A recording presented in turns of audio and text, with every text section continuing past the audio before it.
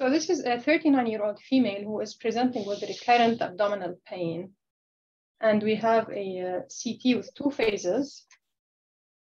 Change the window a little bit. Let me know if you want me to slow down or to stop scrolling or if you see anything.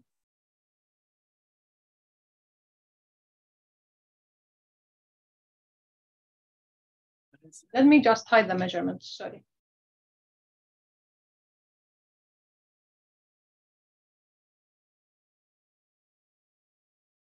I'm gonna go to a delayed phase just because I'm having issues with the early phase. Did you see anything? That early phase, I think, was helpful too. Yeah, the early phase is really helpful. It's just, it's not loading properly for some reason. Here, this is. Anything catches your eye? Yes, he's pointing at something. Christian, speak up. Yeah. Okay. he's hot off of winning a competition at noon conference. So. Oh, nice. So we're at the level of the kidneys, and I see some. I I I think it's is it coming off of the small bowel. So I, I think it's vascular in origin, um, but can can I go up to the origin of the SMA real quick? Let's see, can we? I just want to follow it down. Right by each other. So this is a comparable uh, level, right? This is the left renal vein origin, and this is the left renal vein here. Yeah. But there's something anterior to the left renal vein with a, a lot of inflammatory stranding around it and a, a thickened wall. Um, I, I think it looks probably vascular and etiology, like it's a vascular structure, and it's probably the oh, huh, and it's coming from the oh yeah, so that's the SMA. Yes, exactly. Yeah. So this is the SMA.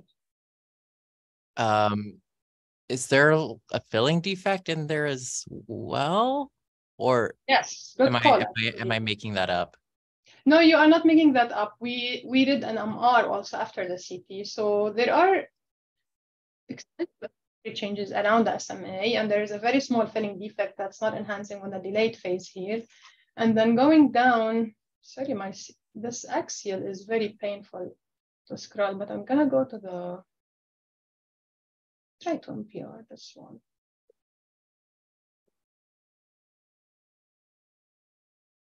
Okay, never mind. I'm gonna give you an MR because the CT is giving me a hard time to um, pull up. See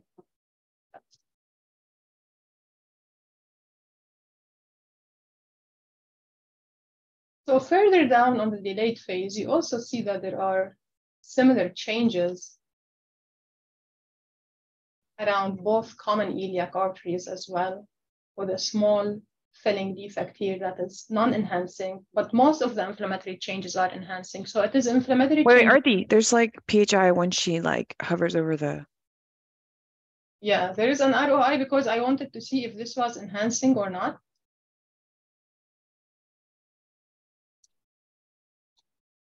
So this is the early phase, this is the delayed phase. So this most external portion of the wall is enhancing.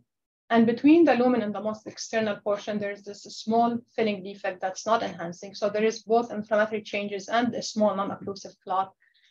And um, I wondered if anything caught your eye also in one of the organs here. The left kidney. Yes, exactly. And then if we follow this branch that's coming to the lower wall of the left kidney,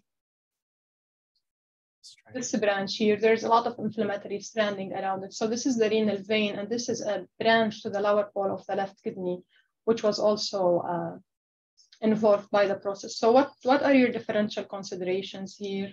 So I'm thinking maybe a, a vasculitis of some variety. Uh, um, I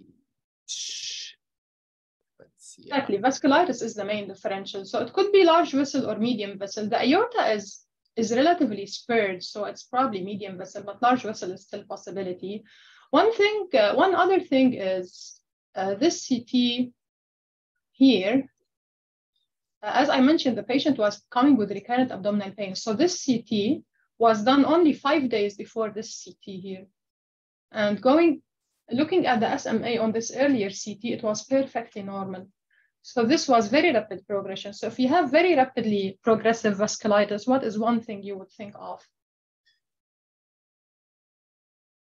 Uh, Other than inflammatory. medication, did they change any medications? Is- Is she infected or they, are they infected?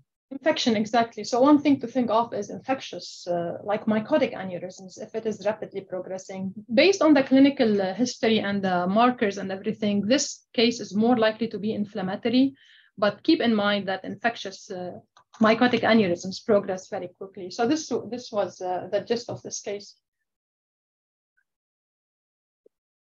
Interesting. Yeah. So they're treating them, probably they got a rheumatologic workup, et cetera, and they're trying to figure out the underlying inflammatory process. Yes, yeah. They are, she was transferred recently and they are still uh, trying to figure out the etiology. Cool. Awesome. Well, Great Okay, case. Nelly, go ahead. Okay. All right. Uh, pelvic pain.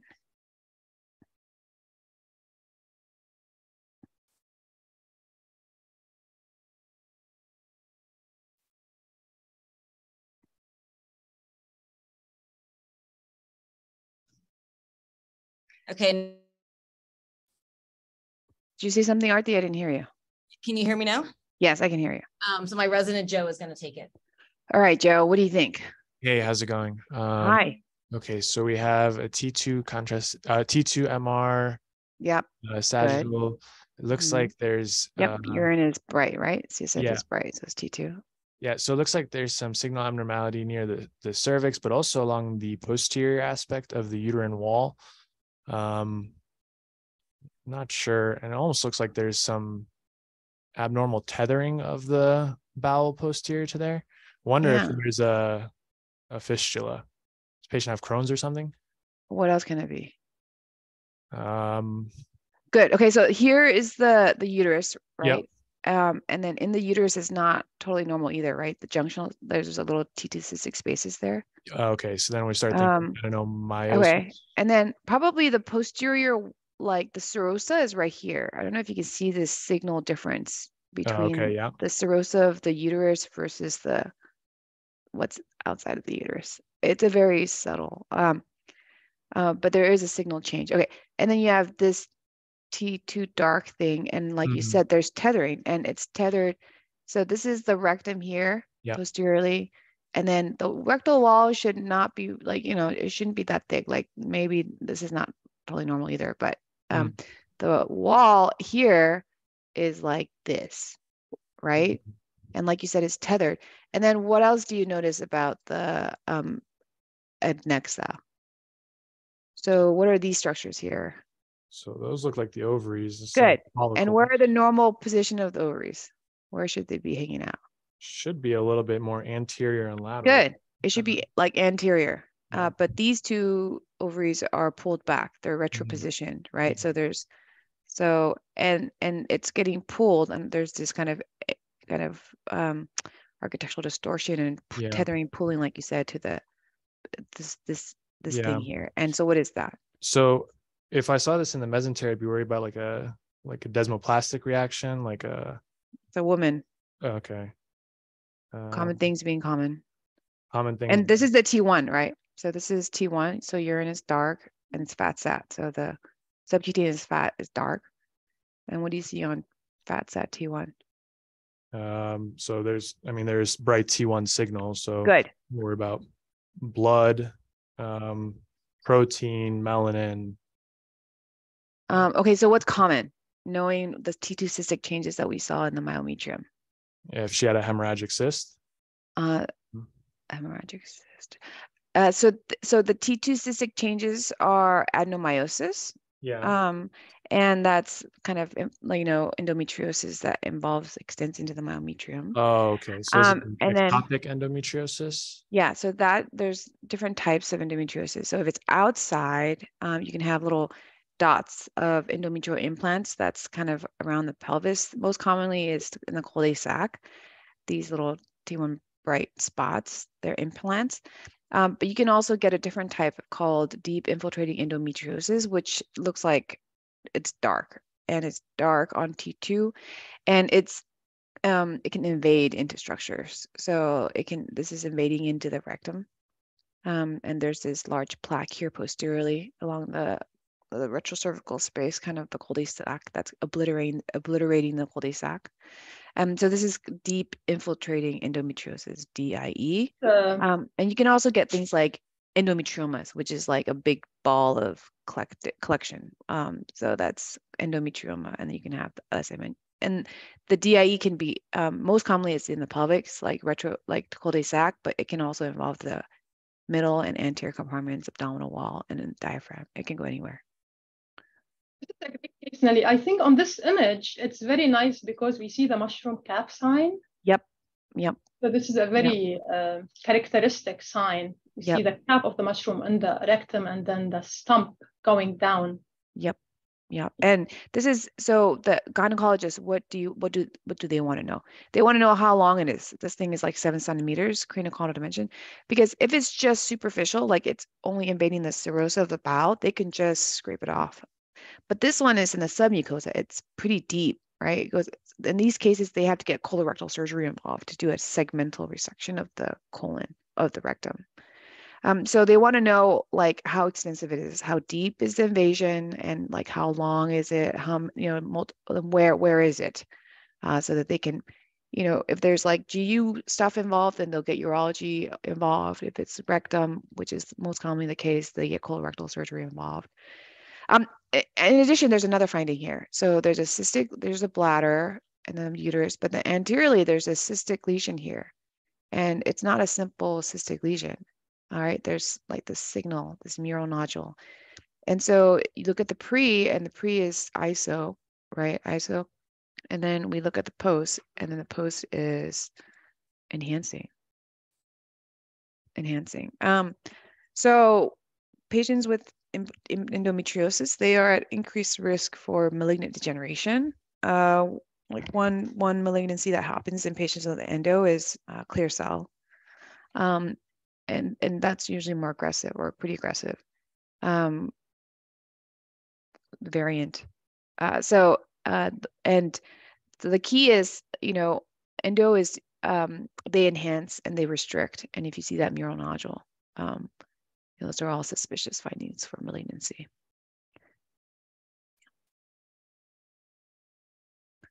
Awesome. You are the end, the deep infiltrating endometriosis queen.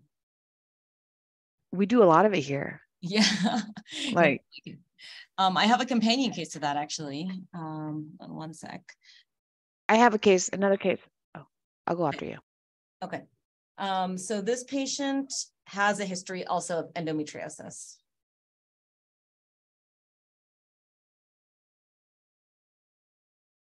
I'm gonna ask one of my residents to take it. Okay, Odessa, my fellow.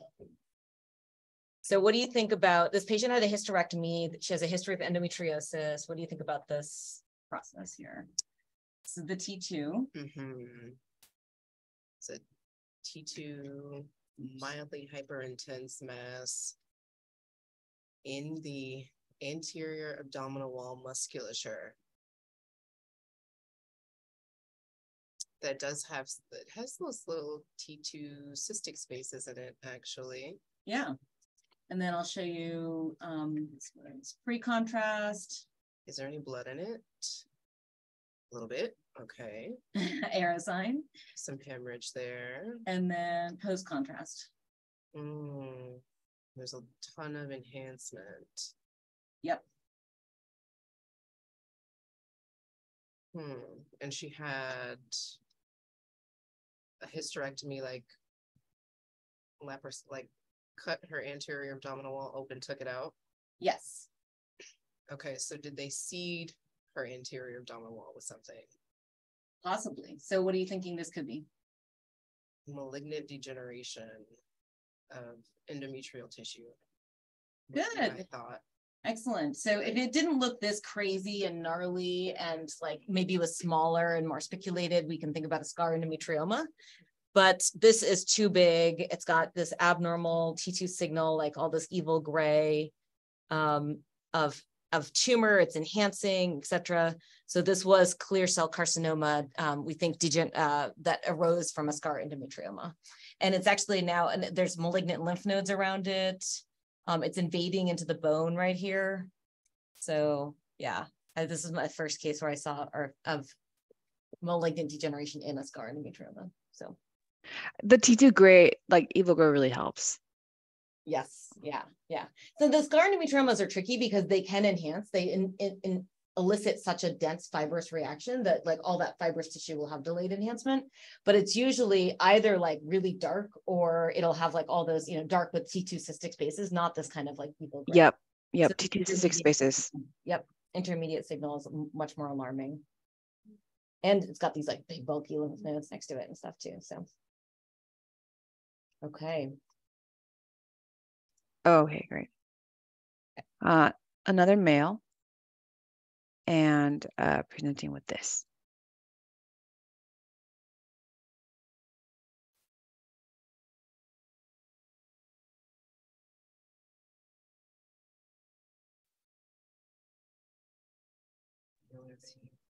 Okay, so my um, Odessa is also taking this case, and she said that she's concerned about a leiomyosarcoma that went up the gonadal vein yeah, I think that's a great thought. That's thought. what I think it is. I mean, it could be anything, right? But it kind of. What else? What do you give a differential? DDX. What's your DDX? That's one.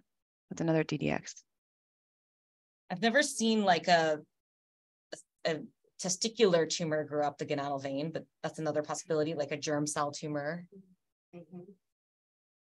It really does seem linear, like it's growing up the vein. Lymphoma looks blobby. This was lymphoma. Oh, wow. Yeah. Yeah. Yeah. This is why we have to give a differential, right? Like we can't just, I, I wanted to just say this was like sarcoma or whatever. And, you know, I added lymphoma and I'm like, thank goodness I did that. because they have to send for RPMI. Like it's, you know, when, when they take uh, biopsies, they have special um, solutions that they have to send, like put it in if you're concerned about lymphoma. So put, you know, diff it out, diff it out. Yeah, that's an awesome case. I've, ne- I've never seen it like that, like growing like that. And also like, it doesn't look like there's lymphadenopathy really elsewhere. Like, Um, decided to grow contiguously like this. yeah, Not it is a really weird Mm. manifestation, but um, you know, lymphoma is one of those things that can look like anything, right? Yes, great case. Okay, hold on one. sec. Okay, I was saying this case is for the attendings out there. Oh, I'm not even sharing my screen. So it's so hard to multitask. Okay. So this was a youngish female. Um, and this is what her liver looked like.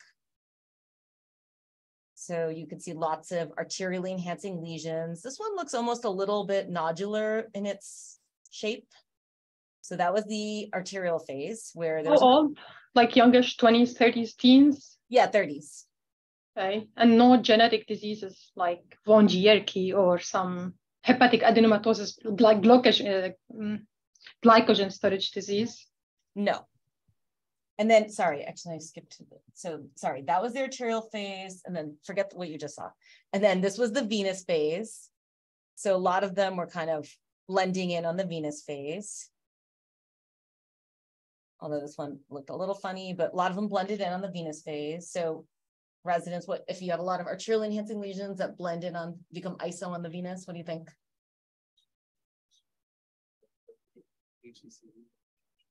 Yes, yeah. Well, we had a lot of guesses over here that um, I'll have to tell them about later, but um, not hemangiomas, uh, probably not HCCs in a young female without liver disease, but um, we think about FNHs.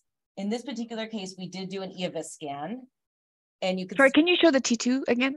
Oh, sorry. yeah, I'll show you the T2 in a second, but you can see that they basically do not retain contrast on the Eovist. So my FNH theory is kind of out the window. Um, they are a young female, so we were also thinking adenomas, and then these are the T2. So they are mildly T2 hy hyperintense, and I'll show you the T2 with fat sat. Okay, They're kind of subcapsular in distribution. Um, some are, not all. What are you thinking? Um, hemangioendothelioma. Yeah, I knew you were gonna say that when you said subcapsular, but I would argue they're not really targetoid and they're Is, pretty, um, is she anemic? Could it be EMH? uh, like extramedullary hematopoiesis. Yeah. Um, th- so both of those are rare. And um, we did not bring them up, and that's not what these are. But I wanted, the interesting point of this case is basically this is a young female, has a bunch of lesions. We were thinking FNH or adenomas. They didn't retain on Eovist, then we said these are probably adenomas. And then I just want to show you, this is the in phase. And this is the out of phase. So her liver was mildly fatty, and then some of these lesions were also fatty. So we thought, okay, these are adenomas. Okay. Is there any like granulomatous disease, histosarcoidosis? Nope. Okay. I love it. I love it. You are you you love you know all these rare diseases, but um that that's not what this were. These were adenomas. She came for a follow-up exam and I t- I showed you the the adenomas were bright last time and then this is her follow-up exam and now they look dark. Okay. Um so it's really weird. This is the more delayed phase. Ah.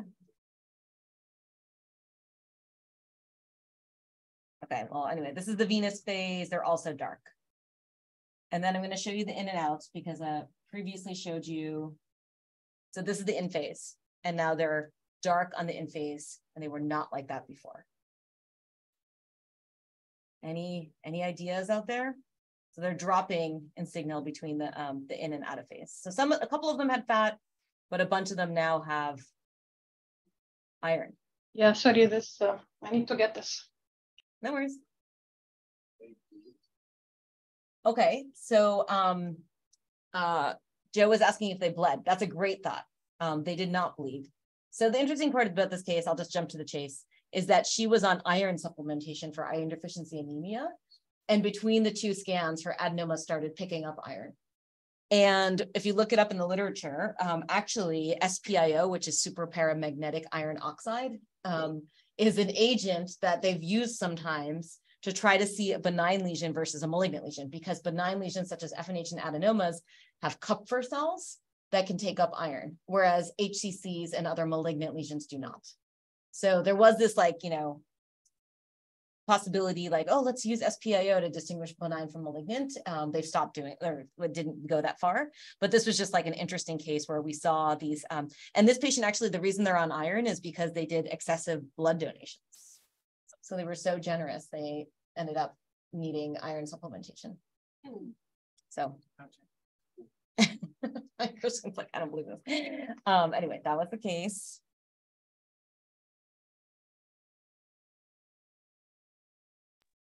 I barely learned supplementation like iron.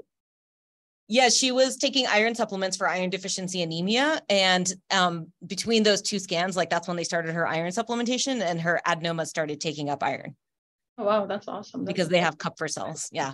I also read a couple of case reports where giant adenomas caused iron deficiency anemia because they were sucking up so much iron and or and there could have been like small amounts of hemorrhage within them too. Yeah. Me. So this is a different demographic. This is an 83-year-old male. We have a CT scan from uh, two years ago and a recent CT scan.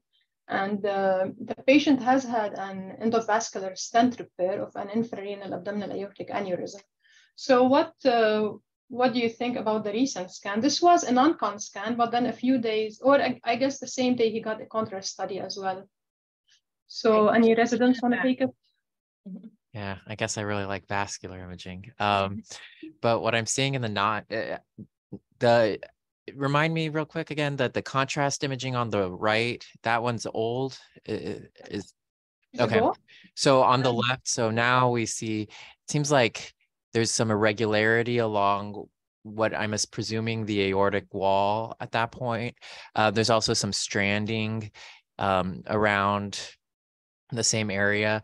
So I'm, I, I think first thing that comes to my mind is, is there a, a contained rupture? Is there pending rupture? Um, is there something going on with the aorta that's Yes, good thought. So if there is a pending, yeah, that is the main differential, right? To rule out a pending rupture. In pending rupture, there's fat stranding, there's irregularities along the wall. There are also, though, a few prominent lymph nodes near the aorta here. Yeah, so I'm also thinking like, oh, what's causing this? And like the first thing being is I'm worried about infection, mycotic aneurysm. There's some lymph nodes in the area too that are kind of juicy. Um, oh, wow. Um, I thought that the more.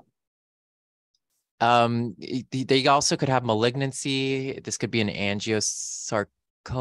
Oh, um, oh, on the FDG PET, there's an avid FDG uptake uh throughout I the aorta, like it's like rim eh, rim uptake. Huh. So is there I- I guess I You already mentioned diagnosis. I'd still me- I'd still favor polymycotic aneurysm in this patient's That's exactly what this is. So basically, the excluded aneurysm sac has just become an abscess now. Yeah. Um, oh, Yeah, and you see that it, I think malignancy is a good thought. So with the lymph nodes, the impending rupture becomes less. I mean, it is probably impending rupture, but there was no endoleak before, and it was very rapid uh, change enlargement. Given that before that, like between the EVAR and the last study, it has been stable for a very long time, and there was no endoleak. And the presence of lymph nodes argues against impending rupture and favors an infectious or malignancy. Malignancy is a great thought. Given how thin the rim is in some parts, its infection is more likely, and this was actually infected. So this is a mycotic aneurysm now. Wow. Yeah, great. Um, I have two little teaching points about um, that mycotic aneurysm. So we, um, especially when you have the stent in place. Um, so you know, like the previous treatment was, um, you know, you go to the OR and they kind of resect it, but they, but then there's like it's so inflamed and infected that like you could leave stuff behind, etc. So we've actually had a couple of cases where we put drains in that excluded, like that infected excluded sac, um, and have been able to successfully treat the mycotic aneurysm with drains. So Oh, wow, just another, yeah, that's scary. yep. Okay, I have one. Okay, so what do you guys think about this? So stomach and um, small bowel are pretty distended. And there's something going on in the left uh, left upper quadrant.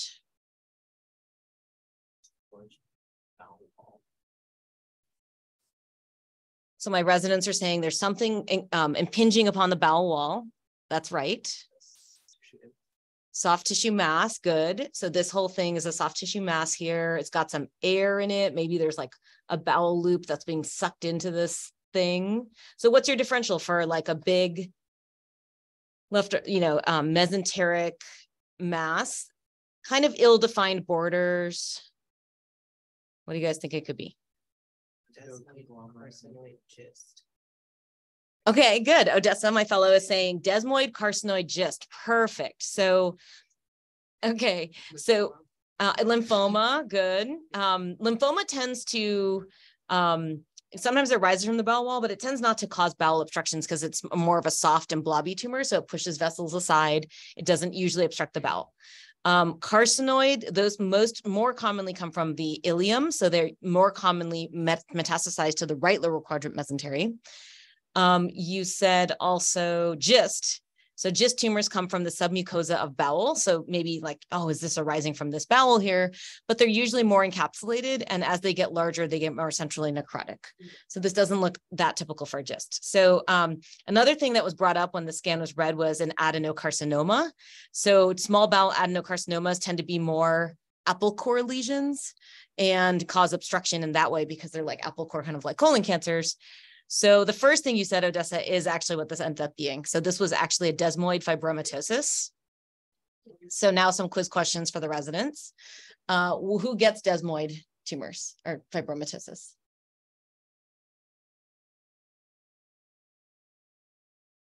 Okay, it's, it's more commonly seen in patients with FAP or Gardner syndrome. And then um, the, you, you can get them, you can get them anywhere, but mesentery, um, rectus sheath, those are common places. And in the mesentery, they can be infiltrated and cause bowel obstructions like this. Um, do you know how they treat them? Anyone? No. No. Uh, so Uh, Gleevec was brought up. That's for a GIST tumor. That's a tyrosine kinase inhibitor. Um, a lot of times they want to leave these just like the like uh, they're they have a high rate of local recurrence. So um, they don't like to resect them because they're basically it's like like you know like scar tissue. It's like a keloid. Like the more you uh, disrupt it, the more it's going to recur. Um, but then also they if if it is progressive or it's causing things, they can do methotrexate and they can do radiation. Um, they can do certain medications as well. I think I think um, some uh, hormone uh, uh, repressing med- medications also. They went in to go um, check this out. They did some biopsies of it. They got the desmoid diagnosis. They could not resect it. It was involving too many, too much small bowel, too many of these mesenteric vessels here. It would have left the patient with like short gut syndrome. So and and they just it was too uh, infiltrative, and so they couldn't resect it. Incidentally, the patient also had. So that was their desmoid. No history of FAP or Gardner's, but if their colon is missing, that's what you think about. And then incidentally, they also had this pelvic mass. Oh. So I was like, oh, that's a second desmoid because you can get multiple. And actually, this was resected and was an ovarian fibroma. Um, we've not been able to find any association between desmoids and ovarian fibroma. They're both fibrous kind of tumors, but ovarian fibromas, you know, are, are just solid tumors of the ovary. They're benign. Do you know what syndrome they can cause? Yes, Meigs syndrome, where basically they um, secrete a hormone that causes a pleural, like the, that causes like leaky vessels, and so you get a pleural effusion, you can get ascites, etc. And for bonus points, do you know what ORADs this would be on MRI? Five. Two. Oh, really? so yes, it's not. So the malignant ones, you know, the ones that like we're thinking about malignant ORADs five are usually like when you have a cystic, you know, like a, a ovarian mass that has true solid components. But when you have a dark, completely solid mass, that's those are in the like fibroma, thecoma kind of category, which are benign, more benign lesions. And so like that really dark um, thing and the ORADs categorization will lead you down to ORADs two because they technically don't really need to be resected or you know you're just a lot less concerned about them. These aren't the ovarian cancers that are like killing people the way that epithelial cancers are. Okay.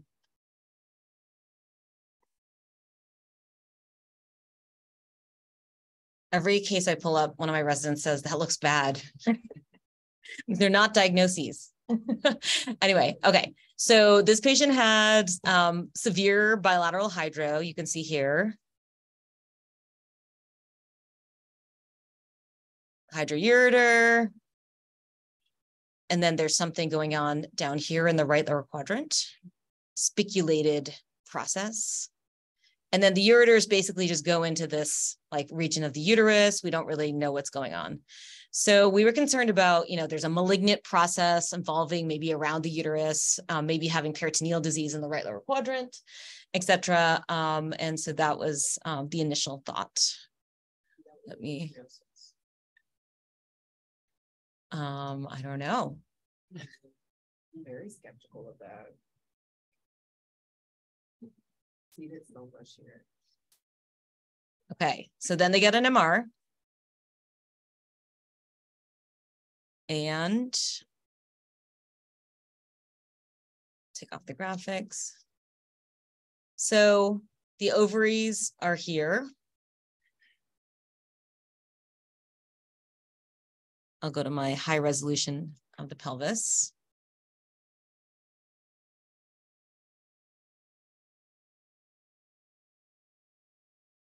You can see that there's again some tethering between the uterus and the rectum.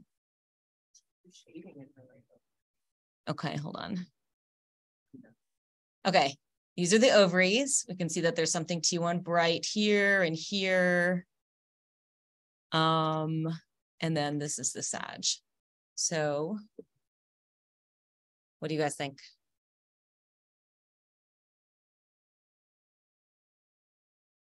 I hear it. Yeah, this was also endometriosis. So anyway, this is just a le little bit more subtle case than Nelly's case, but this is like, you know, the, the more subtle, before you get to the mushroom cap, you can get this like, you know, if you ever see tethering in the back of the uterus, uh, think about endometriosis. Um, just like in Nelly's case, these ovaries were sort of pulled in. So when they get like even more pulled in and they're touching each other, we call that the kissing ovary sign. But they're both like kind of socked in and pulled in. And we've got this like tethering here uh, between the uterus and the rectum. We've got like abnormal signal actually in the posterior uterus here. That's probably also the endometriosis involving it. Uh, we also had hematosalpinges. So that in the setting of endometriosis is usually endometrioma in the uh, in the the tubes, and we had you know endometriomas in the um, ovaries themselves as well. And then the other interesting thing is that spiculated stuff in the right lower quadrant. You can see it also even has these two like little T2 spaces. That was all endometriosis. Yep. And it was causing the hydro. So yeah, this was another case of deep infiltrating endometriosis. Initially thought, you know, to be malignancy. This is where MRI is great because as soon as you start seeing like T, T1 bright stuff, tethering, multiple areas, all of those things uh, will go towards endometriosis. So what was the, what was tethering the left ureter? Um, all of this. So like there's all, so let me actually go back to, um, the question was what was tethering the left ureter? And so like there's even stuff here. Like all of this is all endometriosis, all this dark stuff. Like you should have clean fat planes, right? So the left ureter, you can't see it as well, but basically it was just diving into this area and this ovary with with like this endometriosis around here.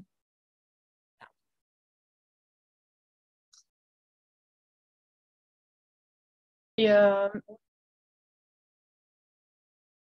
75 year old female with recurrent abdominal pain. So this was the initial CT. So what do you think? My, my fellow Khan is going to take it. He's now joined us. Very great. You got this. Um, so we have two axial CT scans. Uh, one looks like portal venous and the other slightly more delayed. Um, so in the region of the pancreas, I see some pancreatic fullness involving the distal pancreatic tail and body. Um, an interface. Oh no. I'm gonna give you the second CT now. Yeah. Should be easier. Ignore the pneumobilia and the biliary stuff. Let's focus on the pancreas.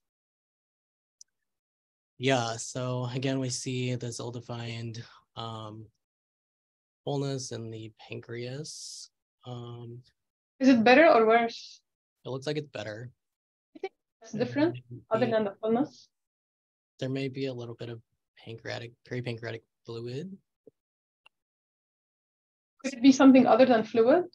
Um, maybe some scarring or fibrosis. I mean, the pancreas itself looks abnormal. Um, Perfect. So, so when you are saying peripancreatic fibrosis, you mm -hmm. are giving us a diagnosis. What Correct. do you think so I would be, be concerned about autoimmune pancreatitis. Yes, exactly. So this was a lady was presenting with this non-resolving uh, pancreatic lesion, which we thought it was a mass, but then here we see several signs that are reassuring. First, the mass has decreased in size, it's not increased. We have penetrating duct signs, so the pancreatic duct is penetrating through this lesion and it looks perfectly normal. There is not a lot of distal pancreatic dilation relative to the to how big the mass is. There's not a lot, a lot of distal pancreatic atrophy, and we have the rim of peripancreatic fibrotic changes. So this is classic uh, autoimmune pancreatitis, IgG4 disease. Excellent. Good job, Khan. Okay, I have a couple of teaching points there. So you said autoimmune pancreatitis, um, and Malak said IgG4. So what's the difference? Are there different types of autoimmune pancreatitis? So not all, yeah, not all autoimmune pancreatitis are IgG4 disease. It could be seronegative or seropositive IgG4 disease. Most of them will display lymphocytic changes and inflammatory changes, uh, but not all of them are seronegative IgG4. It's thought that the histology is very similar, but some around 20% of cases will have serology that's negative for IgG4 disease. Exactly. So the IgG4 disease is a is a multi-system disease. Um, so it like you always always, especially in the abdomen, if you see the pancreas abnormal, look at the biliary tree to look for sclerosing cholangitis, look at the kidneys to look for deposits, look for retroperitoneal fibrosis, and then look at the salivary glands, the eyes, etc. And then of those people that actually have multi-system IgG4 disease, only two thirds will have their, their um, blood, you know, will have elevated IgG4 levels. So there are people that have multi-system IgG4 disease that are still like technically seronegative. Then there's a whole other thing called type 2 autoimmune pancreatitis. This is only affecting the pan uh, pancreas, tends to be in younger patients, usually younger male patients, and it responds more to steroids. So the first one is multi-system older patients, um, could be seropositive or negative. And then the second one is not related to IgG4, um, but has the same imaging findings and it's only in the pancreas. I see Nelly's back. Um, this, uh, this is a patient with a known history of bladder cancer. Um, so you can see this bladder, um, thick wall posterior bladder. And um, this was one of the initial, and then subsequently we got follow-up. Um, patients on treatment. And at that time, we said um, the rectum looks a little bit thickened. There's kind of stool, um, hard stool, probably, you know, proctitis. Um, and and um, it, it was getting worse. And we got additional follow-up study, and now that area of rectum looks even more thicker um, and abnormal. So, uh, and then here's a PET showing that it is metastasis, metastatic disease um, to the bowel from the urothelial cancer. So the take home point is that um, I think it's important to provide a differential diagnosis. Uh, you know, and for sure, it could totally be proctitis. And I think it's um, reasonable to, you know, uh, say it, it, could be something else other than proctitis. Um, so uh, this was just uh, a good learning case um, and a case actually that Cookie shared with me to present and share with you guys. Nice. I've actually seen um, urothelial be really infiltrative like this and kind of sneaky. Um, but mm-hmm. especially when it's like the high grade type. So I, I, now look at the path and try to see like, oh, is it, you know, is this a lower grade one or a really high grade one? And if you start losing those fat planes like that, like don't forget that urothelial can just like, you know, spread in this kind of insidious infiltrative way.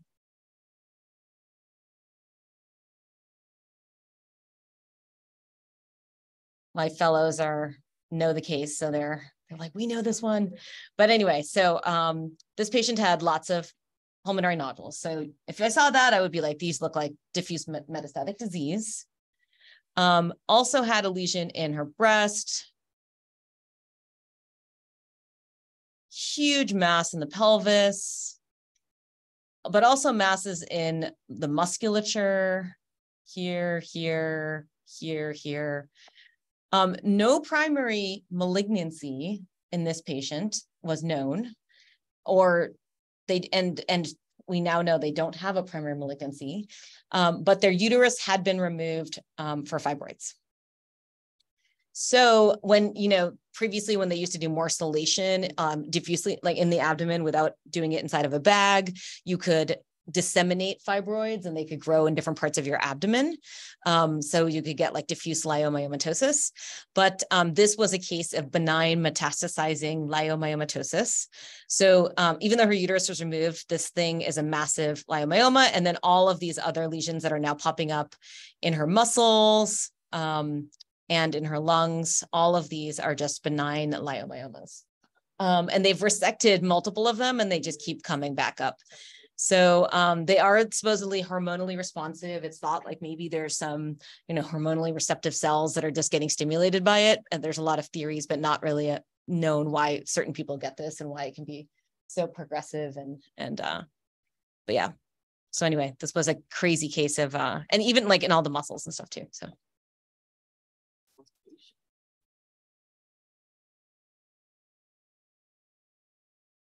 So this will be more of a show and tell case because it's a very extensive involvement by, by a disease that we know about, but I just wanted to show it. So numerous uh, vascular lesions throughout almost all the visualized organs, including a lot in the pancreas, innumerable in the liver, a few in the stomach, small and large bowel. Any thoughts? HHT? HHT, yep. Yep, that's it. So this is the Osler Weber Rendu or And actually, this is a beautiful example of how big the hepatic artery gets. yeah. That like, see that celiac axis right there, right there. Yeah, that whole thing, that's the hepatic artery. So it gets really hypertrophied uh, because they have all these vascular malformations. That's um you would think with those aneurysms, they would like maybe be worried and coil them or something. Yeah, so far they are watching. I guess it's they don't know what what to call it, given how expensive it is. Oh, um, my resident was asking if the patient had heart failure. Do you know? Not that I'm aware of, actually. No. That's oh, a- he's planned for a liver transplant, though. So maybe that's why they didn't coil. They're just gonna transplant the liver. Hmm, cool. Can I go or? Yes, yes. Okay. Um, so this is a patient who came for abdominal pain. Did I already show this case? If if I did, let me know.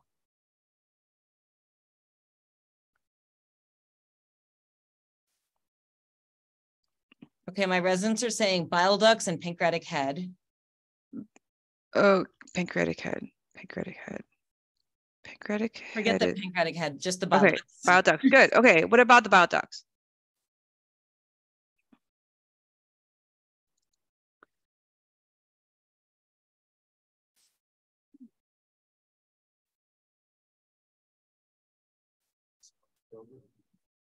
What?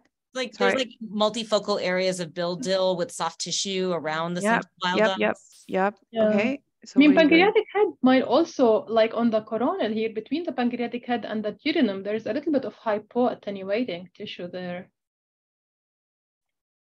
Um, I think pancreas is fine, Okay. but let, let's go to um, ERCP. It's like multifocal areas of stricturing, dilation. Doesn't exactly look like PSC. It Is looks it almost like stricture? Okay, let me go looks show you. looks like here. Victoria's case of IgG4 from last week. Oh wait, are there intraductal stones? What is that? Yeah, tell me. Ooh, is it Oh, yeah.